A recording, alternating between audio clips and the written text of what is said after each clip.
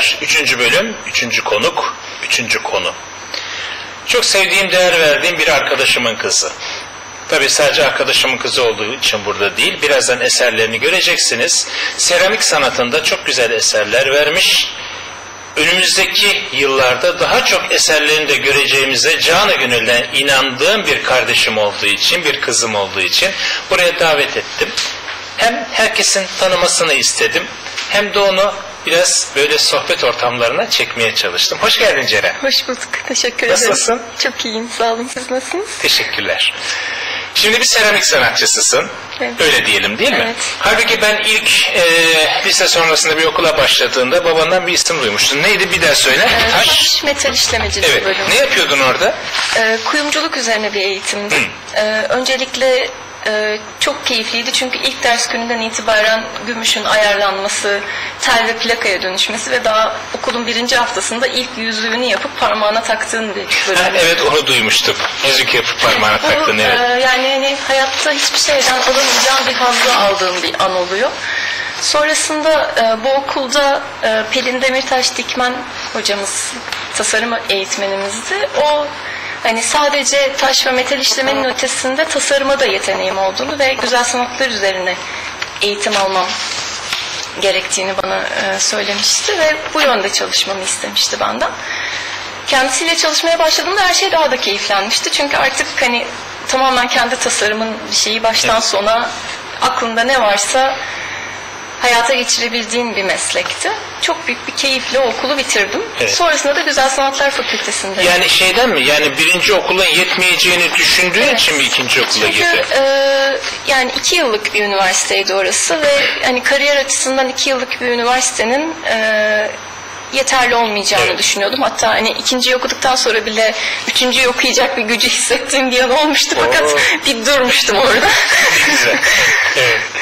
Sonra artık şey neydi ikinci Sonrasında bölüm? Güzel Sanatlar Fakültesi'nin sınavlarında bu defa çinicilik ve çini restorasyonu Evet. üzerine eğitimime devam ettim. Çünkü aynı zamanda seramikle de çok ilgiliydim. Ee, yani bir kumsalda bir yerde bulduğum bir çamuru gizlice eve getirip ondan maskeler falan yapmaya çalışıyordum. Bizimkilere yakalanmamaya Evet çalışarak. aslında o çok güzel bir şey. Şimdi bundan bahsedince ben daha önce seramik konusunda az önce seninle hazırlanırken de sohbet etmiştik. İki tane değerli konuğum olmuştu. Onlardan zaten sen de tanıyorsun. Bingül Başarır ve Evet. Pervin Özdemir. Evet. Onlarla program yaptığımda da şu e, aynı konuyu söylemiştim. Sana da söyleyeyim onu. E, ben bu seramik konusu ne kadar zaman ilgimi çekmeye başladı. Yani elimi sürmüş değilim. Ama ilgi olarak söylüyorum. Füreya. Evet. Okudun mu o romanı? Evet. Mutlaka okumuşsundur. Çünkü tahmin ediyorum Türkiye'de seramiğin yaygınlaşmasına ve belki de başlangıcında rolü olan büyük sanatçılarımızdan bir tanesi.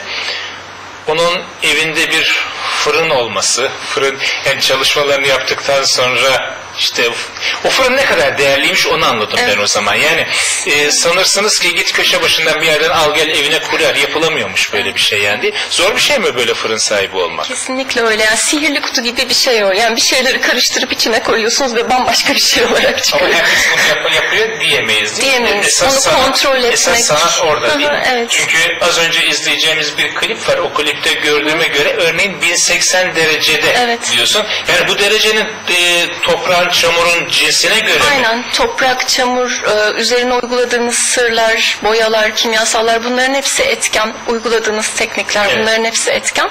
Bunlara bağlı olarak fırının derecesi, süresi hepsi değişiyor. Bunları e, iyi kontrol etmek gerekiyor. Yapa yapa öğreniliyor Yapa yapa öğreniliyor İlk tabii başta ki de. çıkarttığınız çatlıyor, kırılıyor. İlk başlarda değil mi? üzülebiliyorsunuz.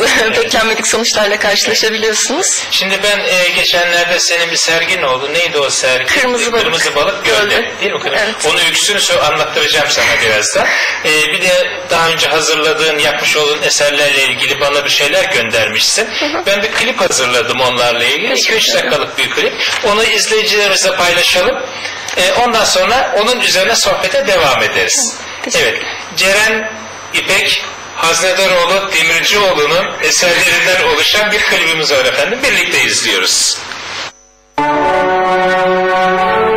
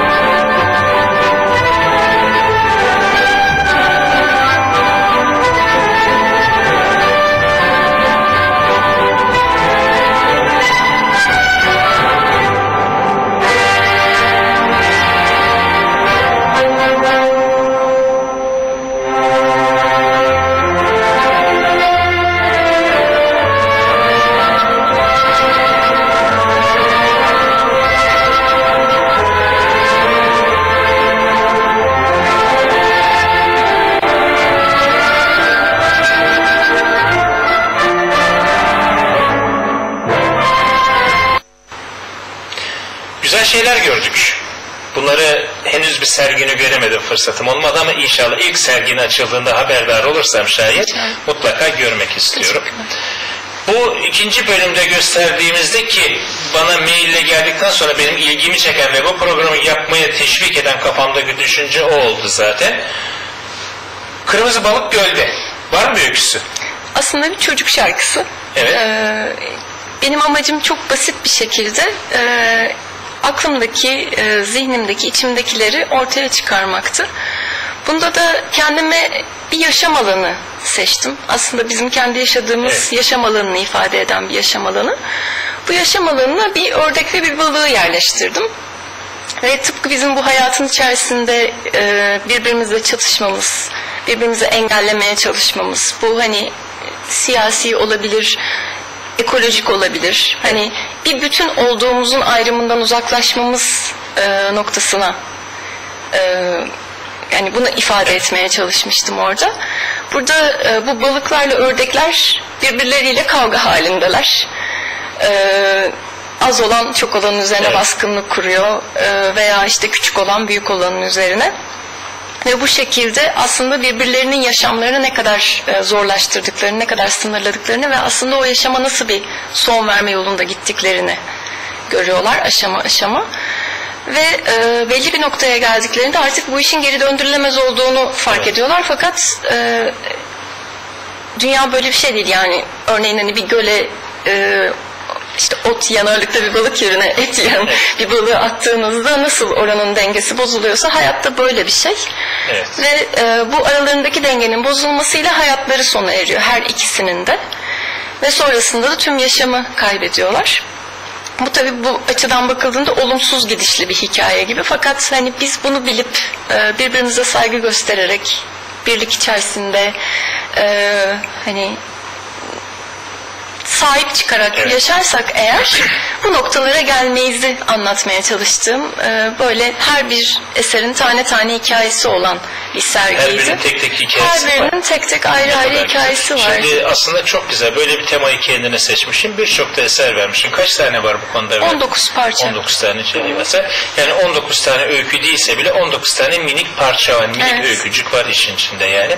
Bir e, orada bir küçük bir tümcen dikkatimi çekti. Dünya böyle bir şey değil. Evet dünya böyle bir şey değil ama hepimiz yaşadığımız günün değerini bilmemiz Evet. açısından eğer bu tür eserlerin katkısı olacaksa ne kadar güzel. Evet. Düşüncene sağlık yani emeğine sağlık öncelikle söyleyeyim gerçekten çok güzel eserler vermişsin. Düşüncene de sağlık. Bir de konuşmanın başında dedin ki ilk bu işte gümüş işlemeye başladığın zaman işte ben bir yüzüğü yaptım parmağından taktığım zaman çok büyük bir keyif aldım dedin. Evet. Ben mühendisim babam gibi. Yani bizim de düşündüğümüz şeyler vardır. Hani biz bize biraz uzun vadede olsa bir eserimiz ortaya çıktıktan sonra geçip karşısına seyrettiğimiz zaman çok keyif alırız. Bazen de biz o örneğin bir bina yaparız. O binanın yanına sokmazlar bizi. Yasak burası diye sokmazlar. Öyle acı tarafları da vardır ama olsun. Eserimizi görürüz yani. Ben şunu soracağım. Şimdi bu seramik türü eserler ve il- ilk yaptığında seramik miydi? İlk, ilk bölümde gösterdiğimizde. Onlar da senin Onlar. içlerinde Çin'i de var. Ha, Çin'e de var. Ben onu biraz Evet. farklı bir Evet. iyi bilmediğimden sadece farklı bir şeyler hissettim diye biliyorum. E, ben dedim biz bir bina yapıyoruz bir yılda görüyoruz. Sen eserleri ne kadar zamanda görüyorsun? Ne kadar emek harcıyorsun? Bazen göremeyebiliyorsun. Şöyle oluyor. O gerisi anlat. Şöyle oluyor yani öncelikle e, çamuru kili şekillendiriyorsunuz. Bunun bir e, kuruma süreci, deri sertliğine gelmesi, rötuşlanması gibi bu 2-3 gün süren bir süreç oluyor. Formun büyüklüğüne göre bir haftayı bulabiliyor. Sonrasında bunun kuruması e, süreci var. Tamamen e, kuruduktan sonra bir ilk fırınlama, bisküvi pişimi dediğimiz bir aşaması var. Bu öncelikle daha düşük derecede. Gene her çamurun farklı fakat 960 derece civarında yapılan bir fırınlamayla Ama 960 dediğin zaman dok- hayır, onu söylemeyeceğim. 950 ile 970 arasında olması kadar bir hassas bir önemi var mı bunun? Evet çünkü bünyesindeki tüm suyu ve tüm Peki nasıl e, biliyorsunuz bu dereceyi? bu hani yılların deneyimi bizden önceki seramik sanatçılarının e, kimyasal açıdan değerlendiren analizlerini yapan kişilerin hani son olarak bize verdikleri, önerdikleri dereceler bunlar. Çünkü eğer seramiğin içerisinde bir takım gazlar kalırsa bu sonrasında sırlama ikinci aşamada istenmeyen görüntülere sebep oluyor. O yüzden tüm bu fırınlamaların çok temiz yapılması gerekiyor. İkinci aşamada da sırlanıp fırınlanıyor tekrar. Ee, bu şekilde bir hafta 10 gün içerisinde en erken bu yavrumuza, çocuğunuza kavuşmuş oluyorsunuz. Çünkü hani resmen çocuğunuz gibi her gün değil mi ilgilenmeniz gerekiyor. Fırınlanmasının bitmesi, yani bir ürünün bitmesi yaklaşık bu şekilde oluyor. Fakat e, böyle bir sergi ürünü gibi bir çalışmada benim mesela o Kırmızı Balık Gölde sergisi yaklaşık bir sene sürdü toplam olarak. Yani hazırlanması bir evet, sene sürdü. hazırlanması bir sene sürdü. Çünkü hani her birini detay detay çok farklı teknikleri birleştirerek çalıştım. Bu az önce bahsettiğim çok basit anlamda teknikli bir seramikti. Diğerinde kendinize özgü bir takım şeyler katmaya çalışarak hani okulda öğrendiklerinizden farklı Okulda şeyler derken bir şey soracağım. Oraya bekliyordum. Bu sadece okul eğitimi mi? Deneylerinden yararlanarak kendin kattığın bir şeyler mi? Evet tamamen e, okul eğitimi diyemeyiz. Çünkü okul kesinlikle çok önemli ve Güzel Sanatlar Fakültesi çok güzel bir fakülte.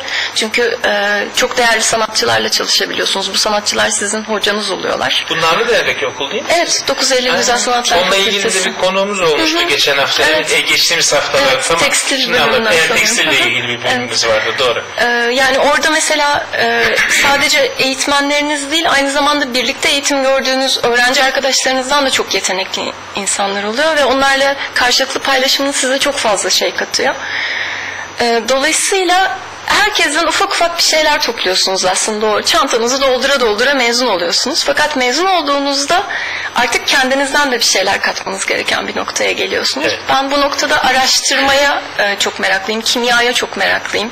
Kimyadan çok büyük keyif alıyorum. Çünkü böyle insanın kendini büyücü gibi falan hissettiği bir şey. Onu katıyorsun, bunu katıyorsun bir şey Evet, çıkıyor gerekiyor değil mi? Evet. Ben daha Evet. çok onu ağırlıklı alarak Evet. Çalışmalarımda Geleceğe yönelik düşüncelerin ne? Kendin için ve seramik sanatı için. Aa, geleceğe yönelik hani e, Neler yapmayı tasarlıyorsun? Hayalin ne? yani daha büyük ebatlı eserler yapmayı şu an mesela en azından şu an için aklımda bir sonraki hedef olarak o var. Çok daha büyük ebatlı e, yani heykelsi ebatlarda seramikler yapmayı ve daha farklı teknikleri denemeyi düşünüyorum Yanlış şu anda. hatırlamıyorsam Süreyya'nın en son yaptıkları İstanbul'un büyük apartmanların girişlerindeki ne diyorsunuz ona? Duvarlarındaki şeylere. Bir ismi var onun duvara yapıştırılan. Duvar panosu Ha, duvar panosu gibi bir şey yani. Bir de ben onu en son nerede gördüm? Ee, geçen sene Halikarnas Balıkçısı sokağında Pervin Özdemir'in yaptığı Halikarnas Balıkçısı'nın evinin kapısındaki panoydu Duvar galiba değil duvar panolarıydı. Evet. İstanbul'da bir zamanlar Füreyya'nın yaptıkları çok ünlüymüş. Dilerim ki senin de yaptıkların çok İnşallah, ünlü olur. inşallah. Düşüncelerin bu yani. Peki İnşallah. bundan başka eğitimle ilgili başka düşüncelerin var mı? Eğitim tamam tecrübeye devam mı diyorsun? Şu yoksa? an daha çok tecrübeye yöneldi ve iş hayatında artık eğitmenlik yapmaya başladım ve bu da aslında çok şey öğrendiğiniz bir şey. Çünkü ço- yani hem çocuklarla çalışıyorum. Bir de öğrencilerim var. Evet çok çok değişik yaş gruplarında öğrencilerim var. bahset. Yani örneğin e, 7 yaşında öğrencilerim de oluyor, 80 yaşında öğrencilerim de oluyor ve bunların Değil mi? hepsinden farklı farklı e, Bunu geri dönüşler. Yine seramik üzerine eğitim veriyorum. E, şu andaki mesleğim üzerine ve e, bu yaptığımız e, çalışmalarda onlardan çok farklı geri dönüşler alıyorum. Bu da çok şey. Özellikle çocuklar çok inanılmaz. Yani gerçekten Ya çok onlar- yaratıcılar, çok Yani neşeliler. Bir de artık bizim zamanımızda olmayan çamur, hamurdan çamurdan oyuncakları var. Evet. Biraz yetenekli oluyorlar Çok galiba yetenekliler gerçekten ve çok e, inanılmaz bir hayal güçleri var. Çok farklı e, şeyler ortaya çıkartıyorlar. İster istemez etkiliyorlar karşılarındakini. Evet. Güzel bir şey. Yani sen şu hayatından memnun musun Çok memnunum. Ne kadar güzel. Çünkü ilk girişinde e, biz şöyle böyle konuşuyorduk biraz işte. Geleceğin ne olduğunu pek fazla Evet. emin değildin galiba. Korkuya kapılıyorduk. Korkuyla, Çünkü yani, yani- korkuyla bir gelecek beklentim Evet. vardı ama Yani- şimdi gördüğüm kadarıyla son Evet. derece güvenli, kendinden emin ve hedeflere yönelmiş bir vaziyettesin. Ne kadar güzel. Benim de seramik konusunda burada konuk ettiğim üçüncü sanatçısın. Her ne kadar ederim. hani kızım olma durumundan dolayı, yakınım olma durumundan dolayı bu kadar seninle konuşuyorsam da bundan sonraki seferlerde diliyorum ki büyük sergilerle karşımda olacaksın. O sergilerden konuşacağız. O eserlerini İnşallah. hepimiz hep beraber konuşacağız diyorum. teşekkür ederim. Katıldığın için çok teşekkür Ben ediyorum. teşekkür ederim davetiniz için. Çok sağ olun. Güzel bir konuşma oldu. Senin geleceğinin aydınlık olmasını diliyorum. Çok teşekkür ederim. Şimdi Değerli izleyiciler, geçtiğimiz hafta, geçtiğimiz hafta değil, cumartesi günü bir imza günü vardı. Hüseyin Yurttaş'ın imza günü vardı. Değerli şairlerimizden bir tanesi. Ben onun e, hemen o gün kitabını imzalattım. Bir tane bir de şiirini okumak istiyorum. Her e, programın sonunda okuduğum gibi. Yalnız bu arada söylemek istediğim bir şey var. Bu programa gelirken çok değer verdiğim büyüğü Şadan Gökovalı hocamdan bir mesaj aldım. Demiştim ya bu yıl 150. bugün 150. programım diye. 150. gençlik yaşın kutlu olsun daha nicelerine diye yazmış. Sabah Şerda Hanım'a selamlarını söylemiş, başarılar dilemiş. Çok nezaketli, nazik, sevecen Şadan hocama burada sevgiyle anıyorum. Yanaklarından öpüyorum, ellerinden öpüyorum. Sağlığına en kısa zamanda kavuşmasını diliyorum. Tekrar burada onunla uzun uzun sohbetler edeceğiz. Sevgiler, saygılar Şadan Hoca.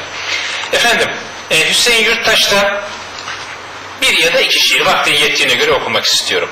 Efendim birinci şiirim kitabın kapağına da ilk şiir ve kapağına da koymuş. Okumaya çalışıyorum efendim. Ömür.